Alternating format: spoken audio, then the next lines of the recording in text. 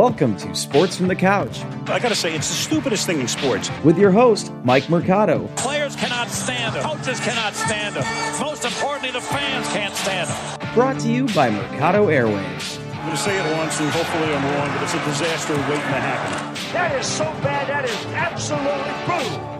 Hello and welcome into another edition of Sportsman from the Couch here on Mercado Airwaves. I'm your host, Mike Mercado. Thank you so much for making us a part of your day. It is January 25th, 2021, in the snowy city of Chicago. We have ourselves a Super Bowl matchup. It was a very interesting, eventful championship Sunday in the NFL, and we need to talk about it. But before we get to all that, let's take care of some housekeeping notes. You can follow me on Twitter at Mike at Media, Instagram, Mike Mercado Media, and the show's on Twitter at Couch Sports Talk. Like, rate, review, and shares wherever you get your favorite podcast at Mercado Airwaves. Become a producer of the network at patreon.com slash Mercado Airwaves, the home to our interviews with athletes and celebrities that you could get ad-free and before anybody else. That's patreon.com slash Mercado Airwaves. Check out our swag at teespring.com slash Mercado Airwaves. We have a new event going on. Merc Out Cancer. Proceeds are going to cancer foundations and cancer survivors. That's teespring.com slash Mercado Airwaves. Like us on Facebook at Mercado Airwaves. Subscribe to us on YouTube, youtube.com slash Mercado Airwaves Network. Come play video games with us on Twitch, twitch.tv slash Mercado Airwaves Network.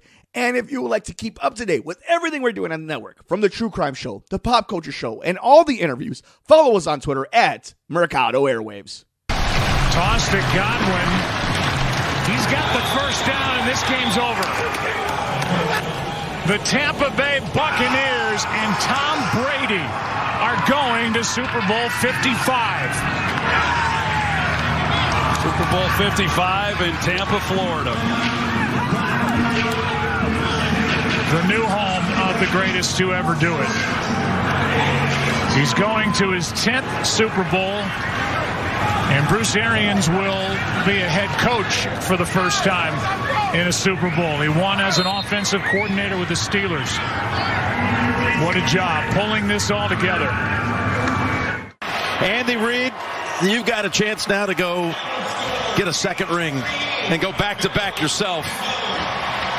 All you got to do is go through the greatest of all time, standing on the other sideline.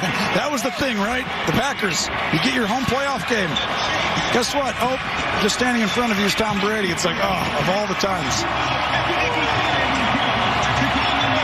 But they got Patrick Mahomes, and he is amazing and will take a back seat to very few people, I can tell you that. Kansas City has a date now, February 7th, with the Tampa Bay Buccaneers. The Super Bowl matchup is all set. Alrighty, friends, we have ourselves a Super Bowl matchup as the Tampa Bay Buccaneers beat the Green Bay Packers 31 to 26, winning the NFC and now being the first team ever to play a Super Bowl in their home stadium. And they will be taking on the Kansas City Chiefs, who beat the Buffalo Bills 38 to 24, winning their second consecutive AFC championship, going back to the Super Bowl to defend their Super Bowl championship. And it is going to be one hell of a matchup between Tom Brady and his Buccaneers against Patrick Mahomes and his Kansas City Chiefs. So, this is where I want to start off with. I guess the big thing, the overarching story. Two weeks, we know for a fact that the story is going to be about Tom Brady and Patrick Mahomes. And it deservingly so. We have arguably the goats against baby goats. But there is a lot of things that kind of happened this championship Sunday that I really think we need to talk about in a fan to fan talk, in a novice spectator type of way. Because, you know, you go on ESPN and they're going to give you the stats and the details, whether it's on CBS, Yahoo, ESPN, your favorite radio show, whatever it is. But philosophically speaking, as we're talking about it, you know that's what I like to do here on Sports from the Couch. And the one thing that I just we kept seeing over and over again this entire weekend when it came to Championship Sunday were teams not being aggressive enough. And look, it I understand that's easy for us to say because we've been playing Madden our entire life, fantasy football, and you know, there is nothing that you can't do. And why wouldn't you go for more points? You know, eight equals more than seven, seven's more than three, so on and so forth.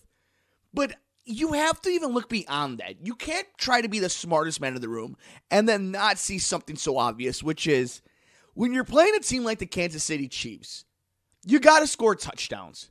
Field goals aren't good enough.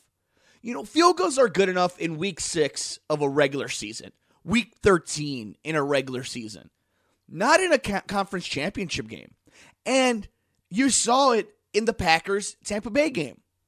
Now, look at that game in its own. Aaron Rodgers, who rightfully so gets put on this pedestal.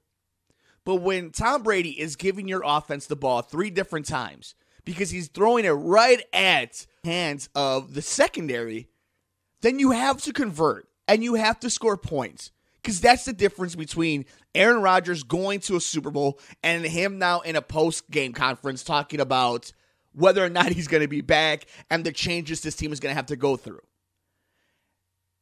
You have to be able to be dangerous as an offense. Look at defense wins championships, that that old adage, right? And part of it may be true on any given Sunday.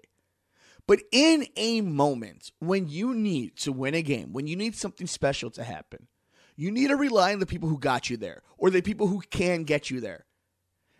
And too many times we don't see that in the NFL.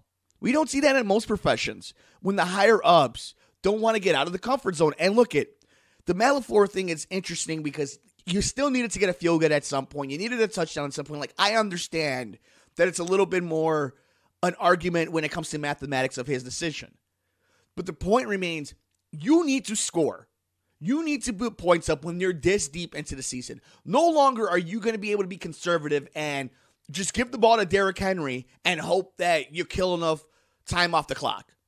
That's not going to win you championships. That's not going to get you to the Super Bowl. That's not going to let you beat the Kansas City Chiefs.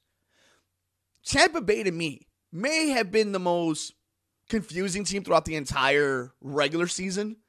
But as soon as the bracket came out and we saw how things were falling into place, I felt the toughest game for Tampa Bay was going to be that Washington game.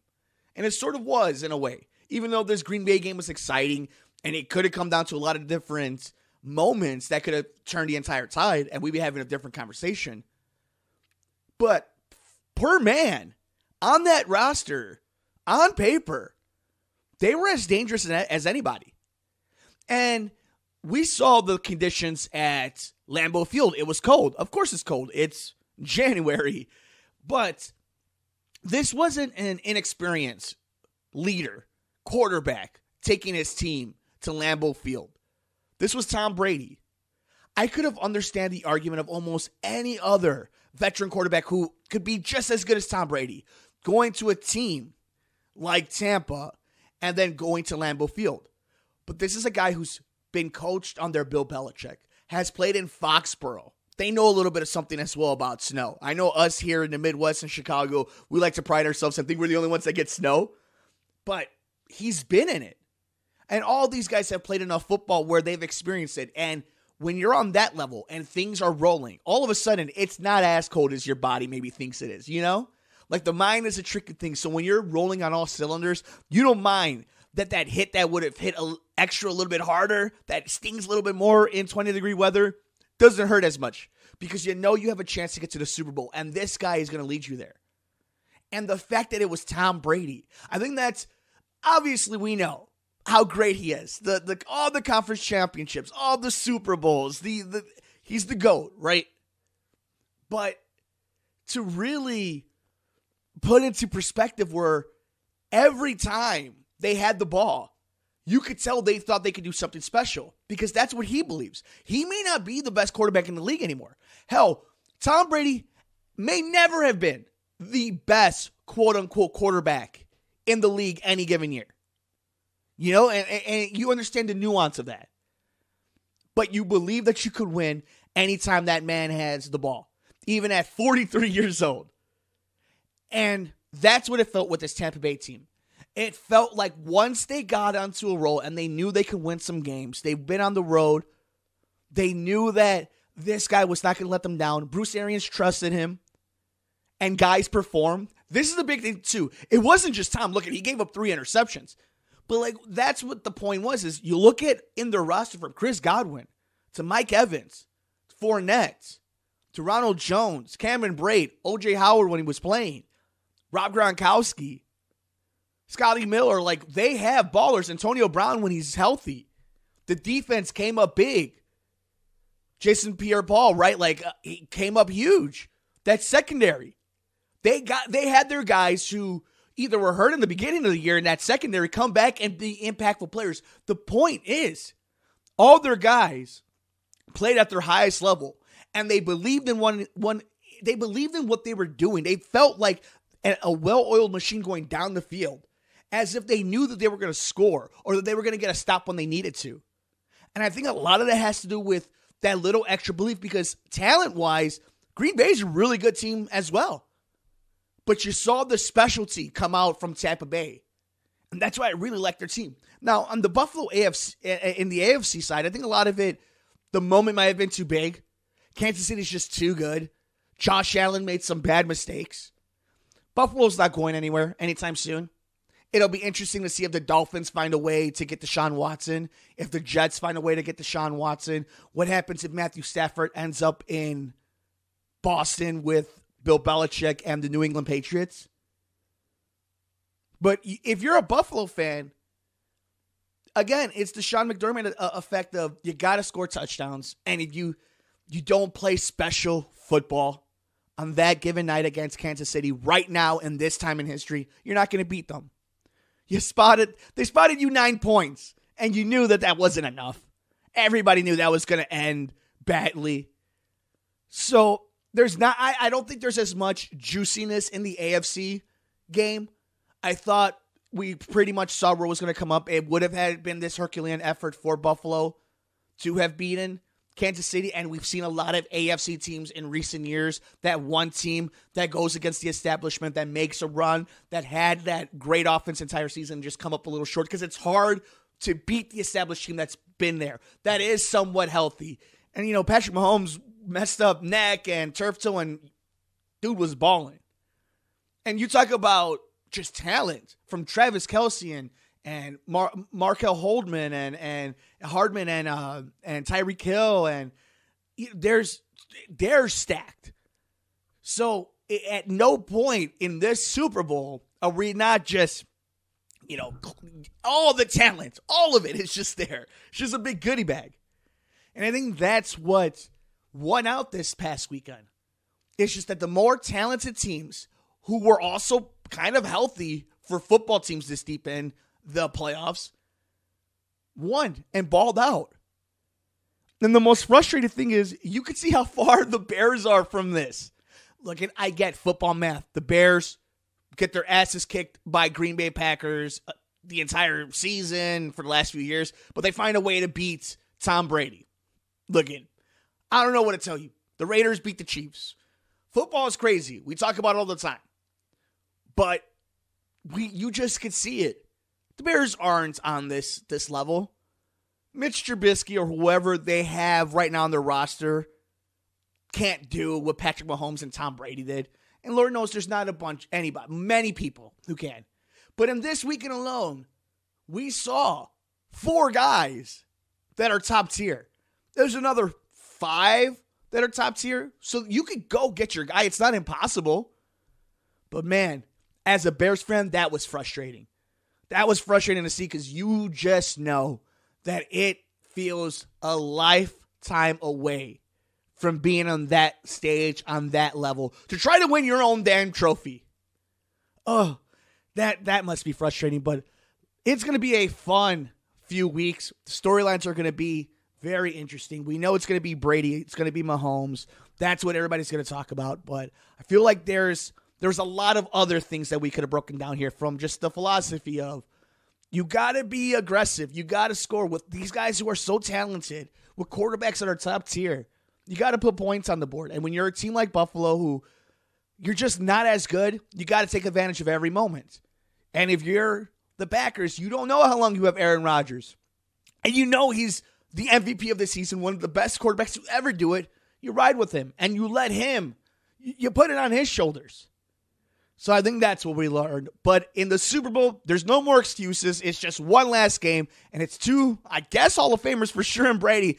Mahomes is probably Hall of Famer already, knowing how crazy the NFL is, but it's going to be a fun matchup. The Tampa Bay Buccaneers, Kansas City Chiefs, Tom Brady, Patrick Mahomes, and we have two weeks to break it all down for Super Bowl 55. But let us know your thoughts. What did you think about Super Bowl matchups being made as the conference championship, championship Sunday gave us our participants?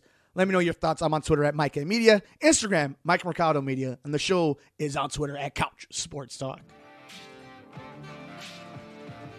That'll do it for us on this edition of Sports from the Couch here on Mercado Airwaves. Thank you so much for making us a part of your day. Don't forget, you can follow us all over the universe. You can follow me on Twitter at Mike at Media, Instagram, Mike Mercado Media, and the show's on Twitter at Couch Sports Talk. Like, rate, review, and shares wherever you get your favorite podcasts at Mercado Airwaves. Become a producer of the network at patreon.com slash Mercado Airwaves, the home to our interviews with athletes and celebrities that you can get ad-free and before anybody else. That's patreon.com slash Mercado Airwaves. Check out our swag at teespring.com slash Mercado Airwaves. We have a new event going on. Merc Out Cancer. Proceeds are going to cancer foundations and cancer survivors. That's teespring.com slash Mercado Airwaves. Like us on Facebook at Mercado Airwaves. Subscribe to us on YouTube, youtube.com slash Mercado Airwaves Network. Come play video games with us on Twitch, twitch.tv slash Mercado Airwaves Network. And if you would like to keep up to date with everything we're doing on the network, from the True Crime Show, the Pop Culture Show, and all the interviews, follow us on Twitter at Mercado Airwaves. Enjoy all the games, take care of yourself, take care of each other. We will see you next time here on Sports from the Couch on the Mercado Airwaves Network. I'm Mike Mercado.